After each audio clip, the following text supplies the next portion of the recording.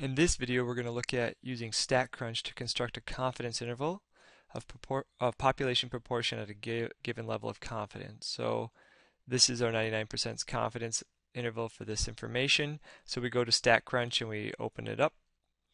Then we go to Stat. Then we highlight Proportion. Then we choose one sample.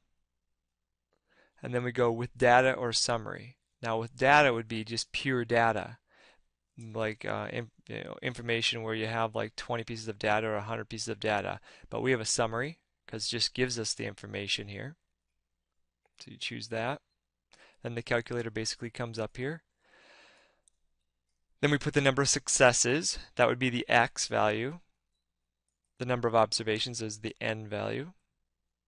Click Next. Then we're doing a confidence interval, so we switch it to there and we tell what confidence interval we want. This one's a 99% leave it as this method. Alright, then you can store the output if you want in StatCrunch, otherwise you click calculate and you just see the answer.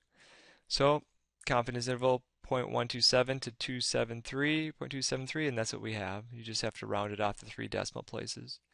So this is quite quite quickly done.